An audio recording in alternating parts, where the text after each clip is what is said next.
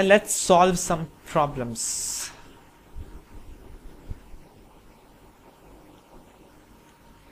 Let's solve one problem and let me uh, revise, let me little brush brush you up uh, with Kolbe's electrolysis, the reaction that you might have forgotten, the reaction that we studied. As the first reaction of this chapter of hydrocarbon, the reaction for method of preparation of alkane. If you have forgotten, let me quickly brush you up with this reaction. This is Kolbe's electrolysis substrate. When you take this and pass electricity through this, the first step of the reaction is oxidation. This oxygen loses electron, forms a free radical, and then this carbon gains one electron, and that's why I have shown it with single headed arrow, and one electron goes to R. When that happens, this there's one electron on oxygen and one electron is gained by carbon they form a double bond. That means they form CO2 gas. CO2 gas comes out and alkyl free radical is formed. And these two alkyl free radical dimerize to give us RR fine? That means when we have a acid the carbon attached to this CO2 part gets a free radical and two of them dimerizes.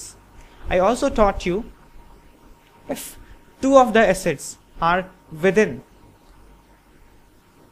the same molecule, suppose they are within the same molecule, then this will go away and this will also go away. So there are four carbon in the chain and the carbons attached to the acid part directly will have unpaired electron on them and then because there are two free radicals within the same chain they there will be an intramolecular reaction and they uh, they amongst among themselves will react. And when they form a bond among themselves there will be a closure of the ring.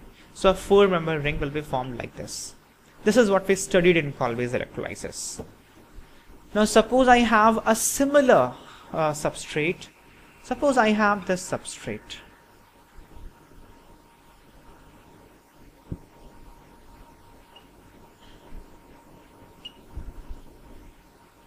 Now I'm going to carry out Kolbe's electrolysis. That means I'm going to pass electricity through this. Right? Uh, now I'm not going to repeat the whole steps as we studied.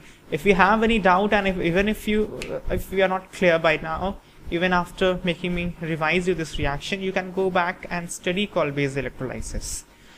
Now I'm assuming you have an idea of Kolbe's electrolysis, so I'm not showing it step by step. But nevertheless, what happens in the first step of Kolbe's electrolysis, this oxygen is going to lose electron, there will be oxidation and form uh, have an unpaired electron done by both the groups. Now this CO2 gas is going to come out and there will be a dot on this carbon and there will be a dot on this carbon and guess what would happen next? There are two unpaired electrons adjacent to each other. They'll quickly combine and so they will pair up and they will form a bond. So there will be a triple bond formed between these two carbons. So this will be the product. I'm not showing hydrogen. This is actually acetylene. So if we have this kind of substrate the product would be there is a hydrogen there the product would be acetylene right? So this is very trivial and this this this we have already studied so there is nothing new in this. So the product is acetylene okay? Now let, let me give you a conversion that will con that will cover most of the concept we have studied in the preparation of alkyne and also some other reaction that we studied in alkenes and alkanes. Okay, suppose I have propane and I added bromine to this in presence of light. I got A. When I added alcoholic OH minus to this, I got B. From B, uh, I can I can suppose I add HBr in presence of peroxide I get C. From B on B if I add uh, Br2 and in, in CCl4 I get D. On D if I am giving NaNH2 2 equivalent I am getting E. On E suppose I add sodium in the first step and C in the second step then I would get F. And uh, on F if I give hydrogen with palladium catalyst poisoned with barium sulfate I get G and if I add sodium in liquid ammonia I get H. This is the conversion and you must do it. This will instill confidence on you and this will test what you have been studying up till now. So uh, this is all the reactions are from the chapter hydrocarbon only. So you solve it, you solve it and then listen to the discussion. I'm going to give you the answer anyway. You're going to attempt it or not. That's my job. So I'm going to perform my job and it's up to you whether you're doing your job so I'm going to uh, start the discussion of this conversion and before listening to the discussion be honest with you and solve this on your own and only then listen to the answers of this conversion problem. Okay then let's start. Propane. This is photohalogenation as you can see there's light here, there's photo and you have halogen here so this is photohalogenation. Pro propane is going to give you and generally, when I taught you photohalogenation, I taught you you will do monohalogenation unless specified. So there's no specification, so we'll do monohalogenation. So A is going to be 2 bromo propane. This is the product of photobromination. As we know, bromine is selective. It will be on 2 degree, almost 100% of it. So uh, this is A. Now alcoholic OH minus is a base, aqueous OH minus is a nucleophile. How many times I have told you? Maybe a million. Alcoholic OH minus being a base will carry out elimination. This is a haloalkane. Halo once elimination is carried out on this, a hydrogen will come out from any of the carbon, both are symmetrical, similar, and this Br will come out. So there will be a pi bond formed and B would be nothing but propene.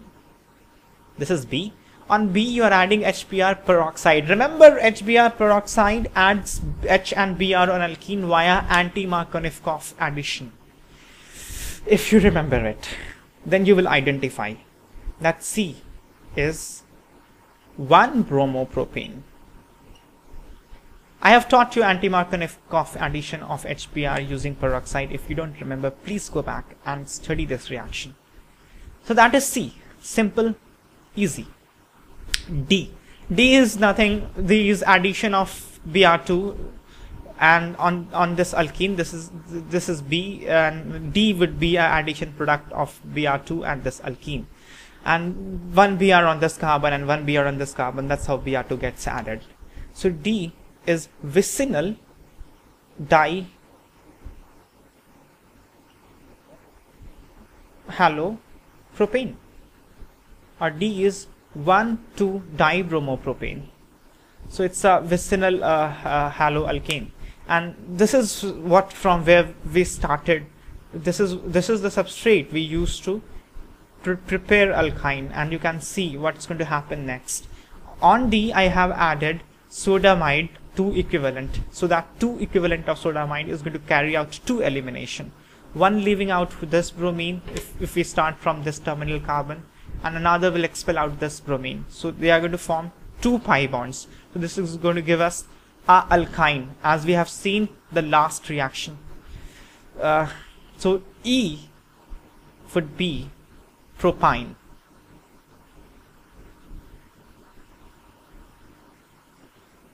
easy on E you are doing you are adding sodium Now, what would happen? And then you're adding C, and look, C is what? C is uh, 1 bromopropane. That means C is uh, uh, 1 bromopropane, and C is such a alkyl halide that the halogen attached is on 1 degree carbon. Okay, so there could be a SN2 on this substrate. Okay, and when you add sodium, when you add sodium to this, I have told you just a, a few moment back that when you add sodium, sodium reacts with substrates, compounds having active hydrogen, releasing of hydrogen gas and forming sodium salt of corresponding conjugate base. So when to in order to get F, when you, when we add sodium to this, what happens? What happens is there will be a alkylide ion formed like this clubbed with sodium ion and hydrogen is going to be evolved right when you add C hydrogen is going to come out. What's going to remain in the system is this. When you are going to add C C is this. C is 1 bromopropane. Then there would be a SN2 this will act as a nucleophile. This will throw away bromine and get attached to this propyl part of this substrate. So what you are going to get as F would be F would be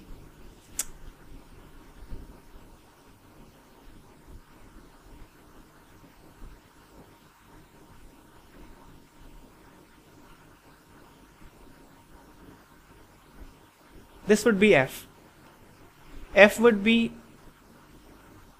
2 uh, heptyne uh, 2 hexyne. F would be 2 hexyne. Fine. This will be F. So easy.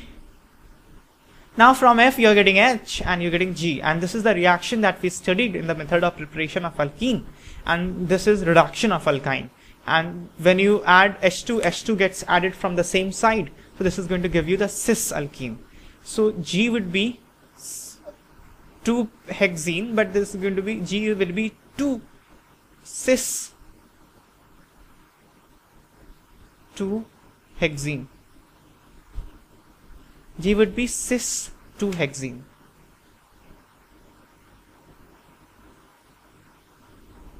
And this is sodium in liquid ammonia carries out trans reduction of alkyne. That means alkyne gives a trans alkene. So uh, H will be trans 2 hexene. Now how this happens, we have to go back and study them. H would be trans 2 hexene. Easy conversion, isn't it? Fine.